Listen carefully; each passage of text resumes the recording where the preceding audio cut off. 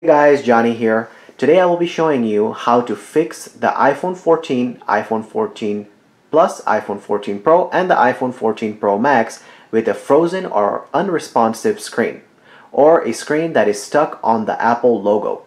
So the method I will show you will simply restart the phone and turn it back on so your phone can get back in action. So let's go ahead and get started.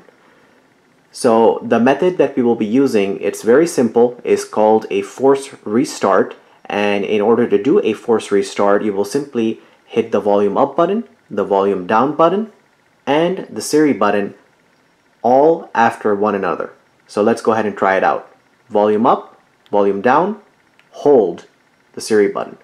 And you keep holding it, you keep holding it even after this, seeing this screen you keep holding it until you see the Apple logo pop up. Once you see the Apple logo pop up, you let go of the button. Now we let go.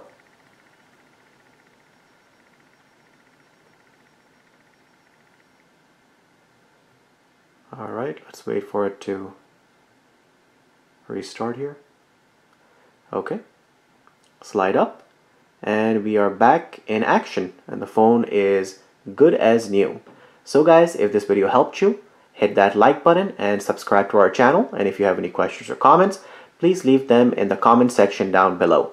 And if this video helped you and saved you, then please give us a super thanks as we would really appreciate it and it helps us to continue bringing you quality content such as the video you just watched.